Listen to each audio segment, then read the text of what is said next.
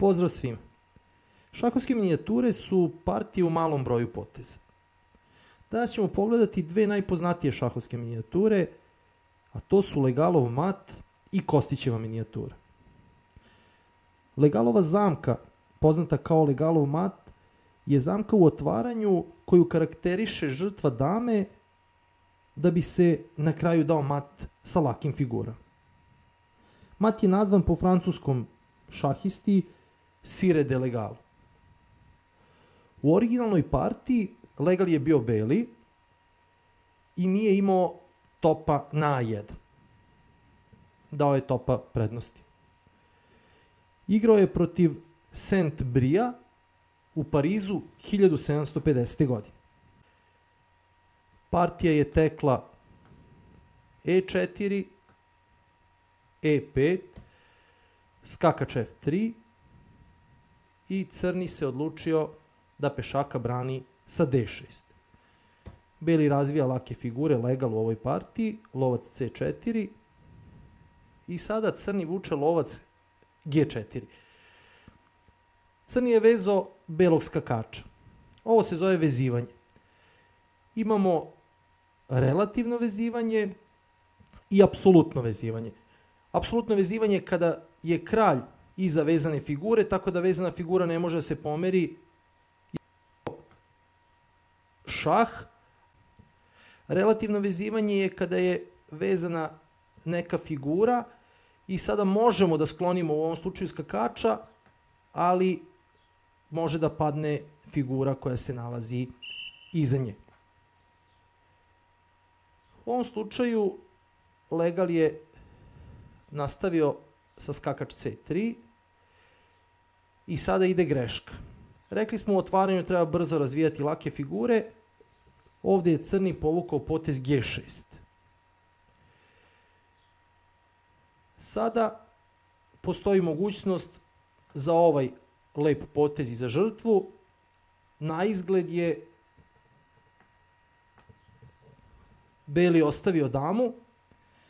E sad ako crni pojede skakača, Beli će pojesti lovca, ima pešaka više i mnogo razvijenije figure. Međutim, u originalnoj partiji crni je pojeo damu i sada sledi forsirani mat, takozvani legalov mat. Šah, jedino polje za crnog kralja je na E7 i skakač D5 mat. Znači ovaj skakač daje šah i ne da kralju da izađe ovde, lovac mu ne da na E8 i E6, a ovaj skakač brani polje D7 i ovo je lep mat koji se naziva legalov mat.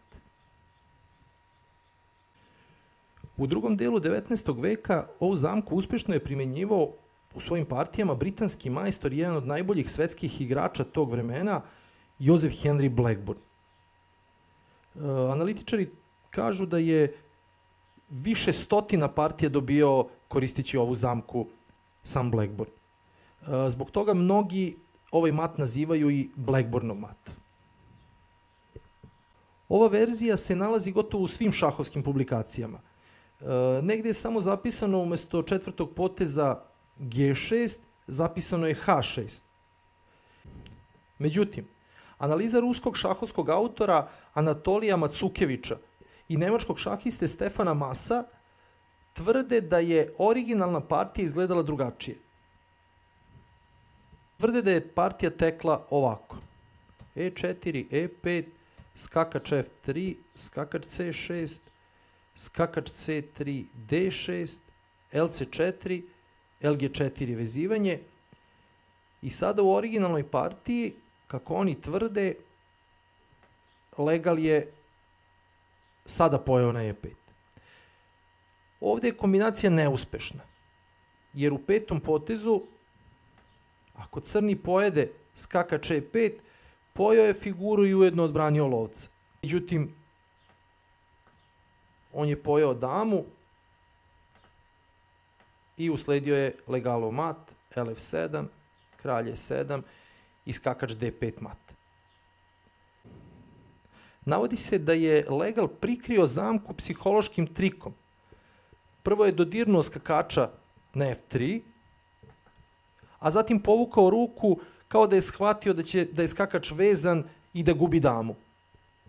Zatim, kada ga je protivnik podsjetio da mora zbog pravila taknuto maknuto da igra skakačem, on je odigrao skakačem, protivnik je bukvalno bez razmišljanja pojao damu i legal mu je dao ovaj prelepi mat.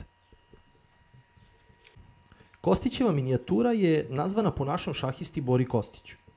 Bora Kostić je rođen u Vršcu 1887. godine i prvi je srpski šahovski velemajstor.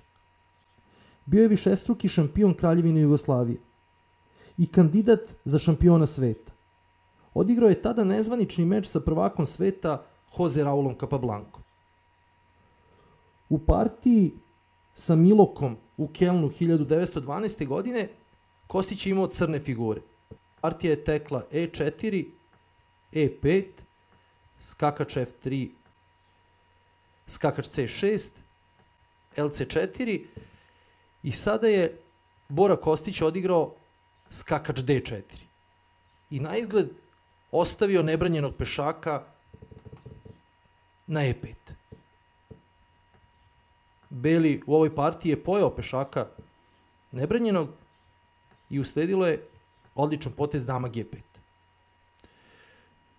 Sada Beli na izgled ima dobar potez i dvojni udar skakača F7 osvojio još jednog pešaka i dvostruki napad na topa i na gde će osvojiti ili topa ili damu. Kostić je odigrao dama G2, napao topa. Sada Beli igra top F1, brani svog topa, a njegova pretnja ostaje da u sledećem potezu pojede crnog topa. Usledilo je dama E4 šah. Sada naravno nije dobro da se damom odbrani na E2, jer će crni pojesti damu, a zatim iskakača, nego jedini potez L2. I sada fantastični mat, skakač F3, ugušeni mat i prelepi završetak ove kombinacije. Ova kombinacija, odnosno ova partija, naziva se Kostićeva minijatura i zabeležena je gotovo u svim svetskim šahovskim učbenicima. Nadam se da vam se svide ovaj video. Hvala na gledanju. Vidimo se uskoro.